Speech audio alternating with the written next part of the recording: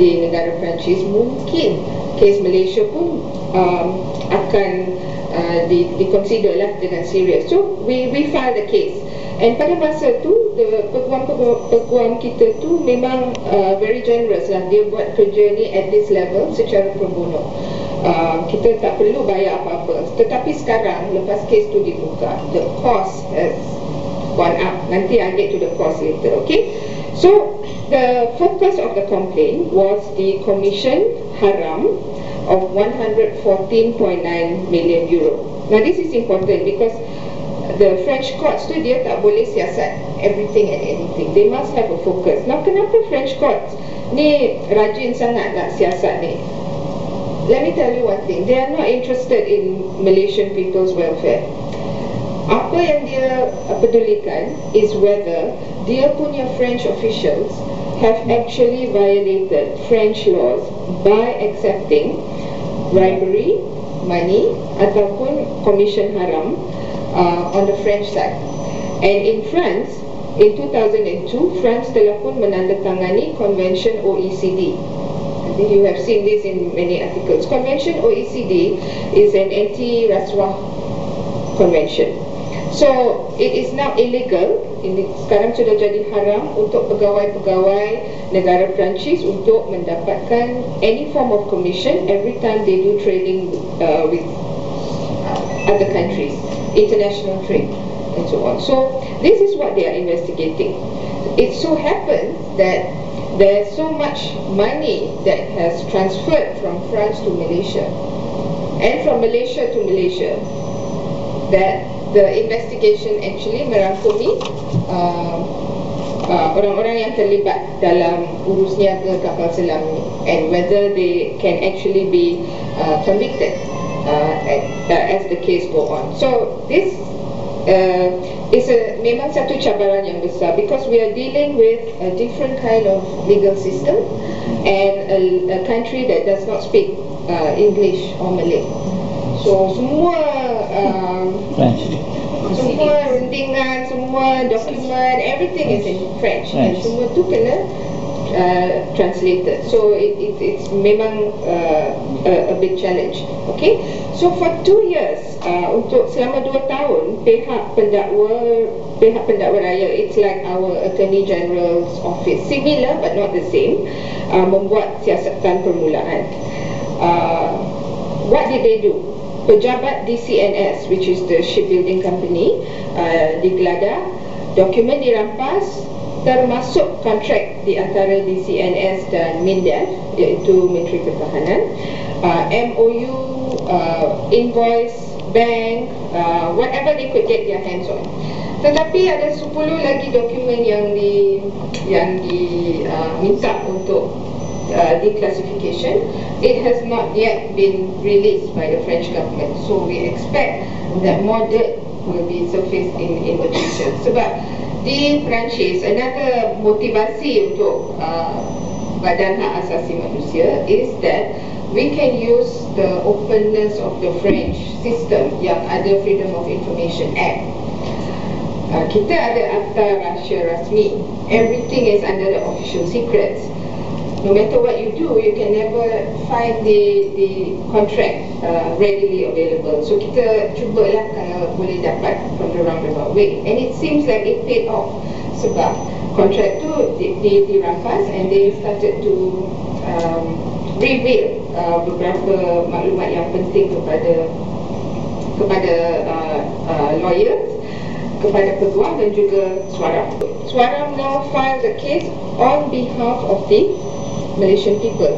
So, uh, kalau lah there is compensation that is paid, then we need a tribunal on how to pay back the 114.9 million euro to the public because it's public taxpayers' money that we are asking for. So this is the basis of the civil suit.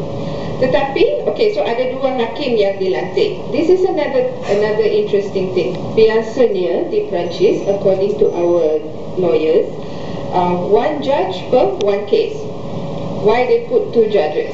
And kedua-dua hakim ni memang uh, senior um, judges. So we think um, memang kes ni dibagi keutamaan. It's some sort of priority in France. Although we are trying to understand uh, impact dari segi uh, politik di Perancis. Also now, you know, France has a new government. So what what does that mean to the socialist government? Because the socialists were the ones who who signed the deal with Malaysia at that time. So uh, interesting to watch on the other side as well. Okay, then um, uh, this one very important. Sebab kes civil tu dibuka, sekarang kerajaan negeri Perancis telah pun memulakan satu siasatan jenayah, a criminal investigation. And this is what we were hoping will will will start because kalau satu siasatan jenayah uh, uh, dilangsungkan di negeri Perancis then uh, kita boleh uh, uh, pursue this a bit further because then the French government is involved. The siasatan ni adalah ke atas beberapa pegawai kanan di CNS uh, atas isu uh, rasuah dan bribery that was uh, uh, facilitated dalam proses urus niaga kapal selam. So, uh, peguam telah pun membagi tahu kita bahawa kalau ada sesiapa yang tertuduh based on the siasatan jenayah, then our witness list in the civil case can then be trans extrapolated to become a suspect list, which means let's use Abdul Razak Baginda because I know you all want to use uh, the the other Razak. Huh?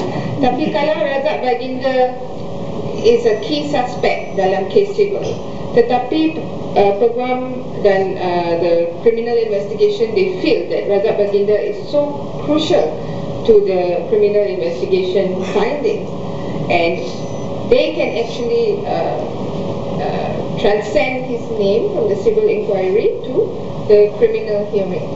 And then he will be a suspect. And if you are a suspect, then it is far more difficult to escape the long arm of the law in, in France. Okay, so this this we need to see what's going to to happen sebab uh, siasatan kriminal ni uh, baru baru saja uh, uh, bermula uh, pada bulan April yang lalu. So uh, there is a lot of developments. Okay.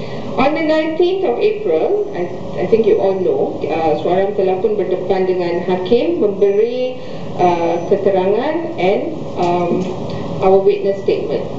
So, uh, Hakim tu, he was he was very very nice, tapi very detailed. And we had to argue for each of the seven saksi yang kita kemukakan kepada Hakim, why uh, setiap saksi itu penting. So, honestly, uh, kawan-kawan, we thought that uh, he was going to reject uh, Najib Razak punya nama based on immunity issues, based on the fact that he is the head of state of another sovereign country dan sebagainya. Tapi when we presented the fact that Najib Razak was the Menteri Pertahanan pada tahun 2002 semasa kontrak itu ditandatangani. So he said, that would be a very important witness. But it is up to me at which point in time I shall call each of the witnesses. So terpulang kepada dia uh, based on the investigation um, uh, when he will call yang uh, whichever witness. Tapi dia telah pun mem, uh, membagi tahu kita that Abdul Razak Baginda will be the first witness.